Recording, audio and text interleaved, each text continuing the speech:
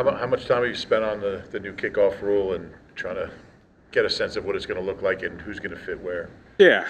Um, the great thing about it, 31 other teams are in the same boat uh, in terms of that, and we have spent a lot of, you know, a good amount of time and not taken away from other aspects because obviously it's a new rule. You have to get used to it. You have to do it more often than not. Um, but you still don't want to take away from the other aspects of special teams. But we have put some time into it. You know, a lot of long conversations between myself, Tyler, Joe P, and even just around the league.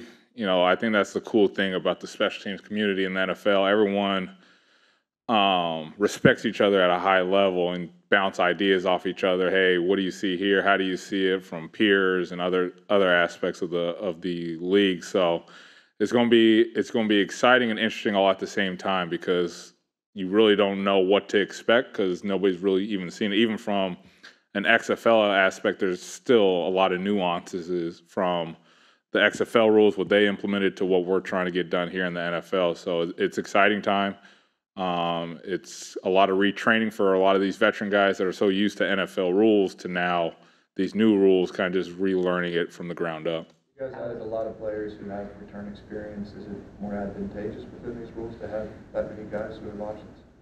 Uh, yeah, I mean, obviously there's great options, especially here in, in May when you have 90 guys. Um, but it gives you, with all these new returners, an, an ability to evaluate all of them. And, you know, our scouting department does a really, really good job in terms of being bringing in players that help elevate our team. So giving all these guys an opportunity, not just kick return, but also punt return, you know, to see what they can do in a live setting is always going to be advantageous for myself as a coach. The style that you look for in a kick returner different now than it was in the past? That's a great question. Who knows what the style is going to look like?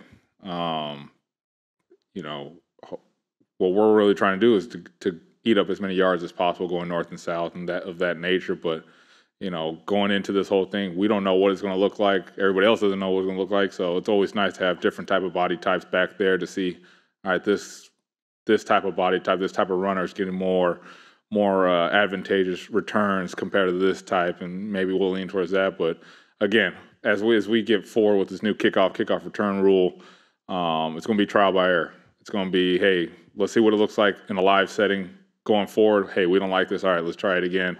Oh, okay, well, we do like this. Let's keep this and let's add to this. So it'll it's going to be it's going to be fun. It's going to be interesting and fun all in the same while to to make sure this uh, us as a special teams unit helps this team out and move forward. How does it impact the non-returners?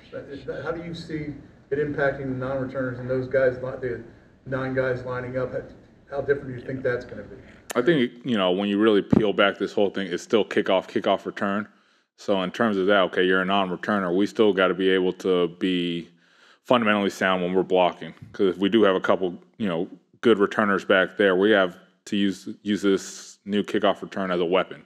Vice versa on kickoff coverage, you still got to go cover these op- opponent teams, these opposite teams of stopping them with some good returners. So um, it's still going to go back to day one ground uh, day one install of hey this is our kickoff coverage overview this is our kickoff return overview this is what we have to do this is what we expect out of this unit so again i think you know when you do have a couple good returns it takes those other nine guys to really lock in and be able to use this as a weapon From the kickoff coverage perspective on that, um, how often, you know, just in the past, you had Jake try to hit kind of like pop-ups and land them, you know, kind of like out of corner and not go for, you know, touchbacks or whatever? And do you think that's a strength of his? Yeah, I think we all, you know, appreciate what Jake does, not just as a field goal kicker, but as a kicker in general. He's so talented in what he does and being able to, you know, get, you know, catch wind of this, hey, I have an opportunity to maybe work on a couple specialty kicks that we can use to help out our kickoff coverage unit. So Jake, Braden also has a, a kickoff background. Um, him being able to, to do that also helps out. So Jake specifically, you know, he has a couple, you know, specialty kicks that he's been working on and things he can lean on as we move forward going against, you know, different returners of that nature. myself more excited to put together like interesting return packages or worried about what might come at you from a coverage standpoint? You know, I think when you put something new, you you first want to be the most intricate and, you know, the more what's the perfect word to say this, you know, eye-popping thing, but I think for myself, we want to keep this for the players to grasp simple enough, and let's be good at that. Then we could add some different nuances of things of that nature, but we still also got to start from ground one. Hey, these are the new rules. We got to be great at these new rules because the one thing for myself or for us as a as a team is these new rules. There's new penalties, and one thing we don't want to do is create new penalties and you know put our offense, put our defense in a bad predicament. So we got to start from that of understanding the rules. If you understand the rules, then you can move forward to your returns, to your blocking types, all that. So just starting from from day one, ground one. Hey, these are the new rules. We got to be able to be great at these. Then we can new, uh, move on from that. Is Covey still the top option at punt return?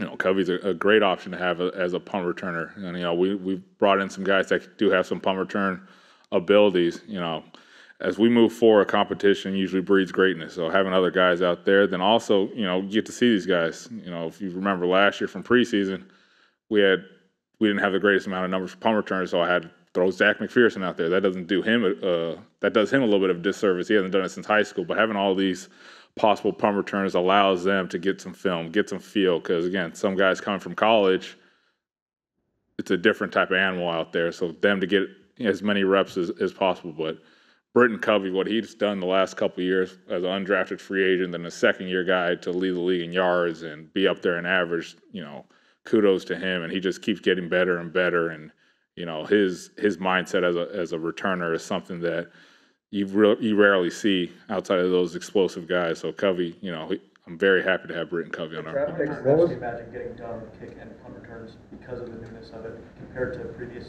years uh, in practice sessions? And uh, does that allow for, you know, because you have more talent, to have more of a sample size for each guy? Yeah, I think you know to get good at it, you got to do it. So in practice, we may be doing a little bit more team based thing against each other to see what it looks like. Then you know in preseason seeing that, but again. What are the what are the percentages like? Was there a huge difference from the 25 to the 30, you know, to the 20 in terms of all that? So again, the more times we practice it, the better we're going to get at. Just like in anything else in life, the more stuff you practice, the better you're going to get at it. So the more times we can put it on tape, correct it, get better from it, I think is going to help us in both kickoff return and kickoff coverage. with the, uh, the extensive return experience, talking about uh, Cooper, Will, and Ainias. What stands out about each of them as a returner? Yeah, I think they all excel in all different phases. Um, Cooper doesn't, you know, he's just a heck of an athlete. Obviously, you guys have seen his basketball highlight tape surface around. This guy's just a, a really good football player. Hard to find good football players in in general. So Cooper, you know, he's a smooth runner, um, able to track the ball as a punt returner, and you saw, you know, he has the ability to take it all the way. Then, you know, Ainias, you know, he splashy, explosive. When he gets the ball in his hands, it's really dynamic in terms of that. Then with Will, I mean, Will, you see from a running back perspective, then to a kickoff return perspective, he's downhill. He's one cut. He still got enough wiggle to make you miss, and that was evident in the uh, rookie minicamp. Just seeing those guys kind of move around um, for the first time live in person outside of the film is just something exciting to look forward to when they get back here and, and mingle in with the veterans. What's the most interesting, what's the most interesting question you've gotten from the players about kickoff returns and what kind of feedback have you gotten from them? I don't know if interesting. I think it's more curiosity in terms of the questions, and a lot of it has to do with the new rules. You know, the touchback rule, where the ball has to land, how do where do we line up at, and I think it's just a learning curve for everything. You know, you get so you know the last few years it was this, and you know last year they added the fair catch, so you got to teach them that. So now everything moved up. It's just something different they haven't seen. So it's just more of them being curious to what they expect to see. Um, so I don't know if there's anything super outlandish or uh, question wise, but it's just more of the curiosity of like, hey, what are the what are the the, the ruling and how do how are we going to use this to an advantage? The NFL was going through the rule changes. How much did you lend your voice? How much do you feel like your opinion ended up uh, into what happened? Yeah, I mean, I think throughout the NFL they look for our input, and I, you know, Darren Rizzi, John uh, Bonesy, and, and Richard Hightower. I thought they did an unbelievable job of representing us as NFL coaches, special teams coaches, and we have, you know, we're able to communicate through them. So when they do go out and try to present it, they're able to present our thoughts. So I think it's been a collective effort effort from all 32 teams. Your thoughts? My thoughts on the whole thing, entering it, you know, Thoughts that you gave them. My thoughts going was, you know, as long as we're on the same sounding board, I'm all for whatever they want to give out there. Um, Not saying like I had anything to say or anything disagreeing. It was like, hey, I was with everyone. We all voted on ourselves in our own little little group and everything. So whatever the NFL is ready to pull on board, we're ready to to adapt. That's what special teams is. It's all about it, adapting to to new things, whether it's a roster change or new rules. We're ready to adapt in the special teams world. Is there, is there- is there a player, is there a player or two that you're looking to, looking to, to make a big leap here in twenty twenty-four? And who are you leaning on for leadership? Yeah, um, I think we've added a couple players that do have some experience. I would say like Zack Baun and Oren Burks. They've played in the league for a while, and they've uh, played at a high level. Um, but like I usually tell everyone, I, I lean on everybody. If you really look back from last year, we leaned on rookies, undrafted rookies, veteran guys, guys coming off practice squad. It's my job as a coach, as the coordinator here, to make sure all 90 guys are ready uh, and willing to play special teams. So I'll lean on everyone, but we saw some outstanding play from Josh Jobe, Sydney Brown last year, Ben VanSumeren. Um, but it's going to be a collective effort, and I think, you know, those guys getting a year under their belt, having more confidence, they'll take it on their own to be leaders, and I ain't got to, I don't have to really worry about that because I think this is a very good, a very good unit in terms of holding each other accountable and you know pushing each other to to a new level. With Jake Braden and Rick all being extended now, having that, how much easier does it make for your job as a coordinator that you can focus other things down, knowing that they've been extended?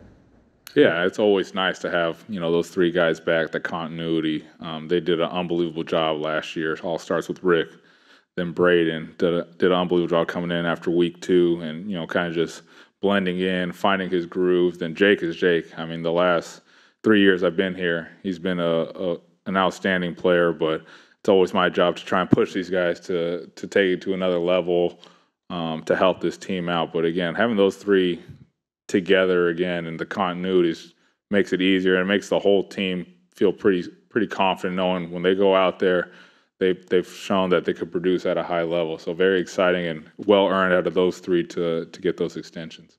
In the Iowa Minnesota game, did uh, Cooper call fair catch? That you can ask him that. Uh, the, the yeah, you can ask him that. I got nothing for you. Thank you. Thanks.